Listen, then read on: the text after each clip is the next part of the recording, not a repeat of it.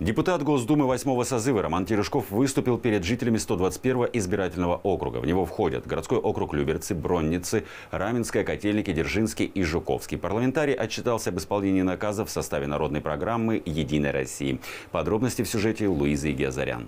Во время выборной кампании 2021 года в адрес Московского областного отделения «Единой России» поступило около 800 тысяч инициатив от жителей. Все наказы поделили на три основных блока – первоочередные, региональные и муниципальные. Что касается 121-го избирательного округа, куда входят люберцы, то 40% наказов было выполнено еще в прошлом году. В рамках народной программы нас просили произвести реконструкцию стадиона «Электрон».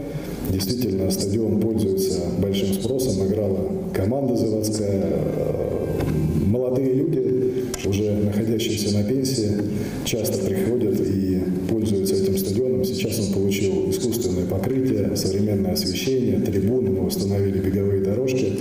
И сейчас он является также центром э, притяжения для любителей заниматься В этом году работа по исполнению наказов продолжится. В ближайшее время начнется реновация стадиона «Торпеда». Это станет первым этапом обновления центральной части города Люберцы. Все, что связано с тем, что вокруг этого торпеда надо решать, это и стадион, и ФОК. Мы в перспективе видим а, развитие а, какого-то ледового, ледовой арены, я не говорю дворца, ну хотя бы лед, и хотя бы 300-500 трибун, это большое счастье, в Люберцах этого нет. В конце встречи Роман Терешков вручил ряд благодарственных писем. Среди тех, кого наградил депутат Государственной Думы, генеральный директор телеканала ЛРТ Екатерина Дегтярева. Коллектив Люберецкого районного телевидения отметили за вклад в формирование информационной политики. Луиза Игиазарян, Денис Заугольников, телеканал ЛРТ.